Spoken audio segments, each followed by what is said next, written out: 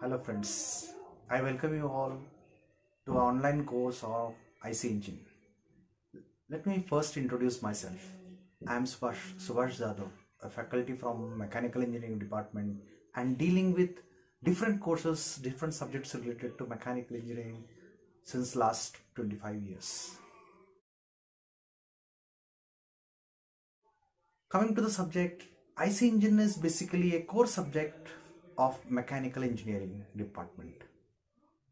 Um, the undergraduate students from mechanical engineering and allied its allied branches will find this particular course suitable for their academic process. It will be also useful for those related to automobile service sector like professional engineers or uh, practicing engineers the objective of this particular course is to uh, deal with the fundamentals of IC engines with a higher focus on the application of the IC engines. The prerequisite for this particular subject is the knowledge of the fundamental subjects like fluid mechanics, heat transfer, thermodynamics, etc. with respect to the course content this particular course will be dealt with uh, the many uh, parts. In the first part which is introductory one we will be dealing with the introductory IC engine where we will be discussing about the constructional details of the IC engine the materials used for the different parts, the applications of the IC engines, the engine cycles, the valve timing or the port timing diagram, etc. In the second part of the subject, we will be discussing about the fuel systems used in engines.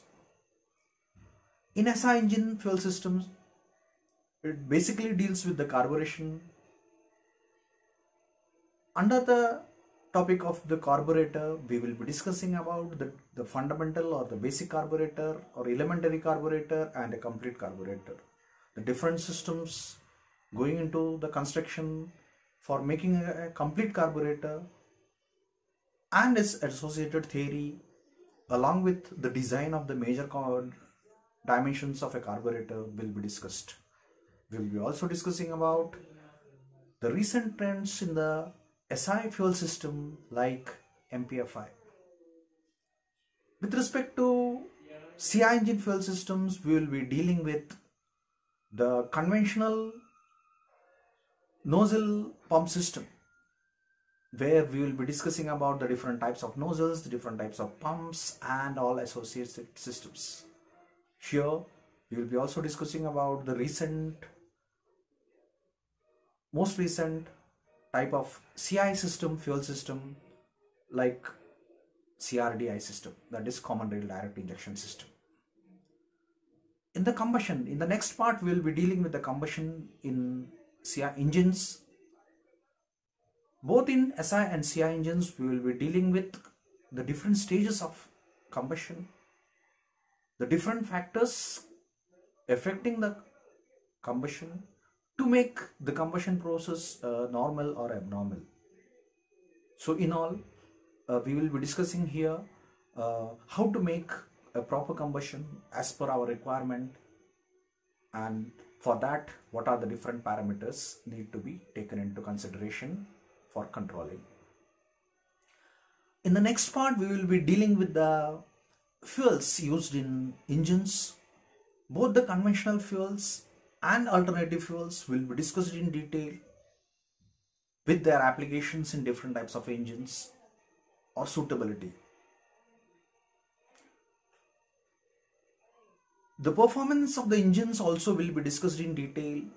Initially, we will be discussing the different performance parameters and their importance.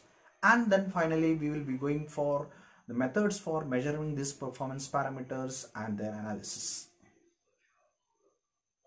We will be also discussing about how to enhance the performance of the engines wherein we will be discussing the methods like supercharging and turbocharging.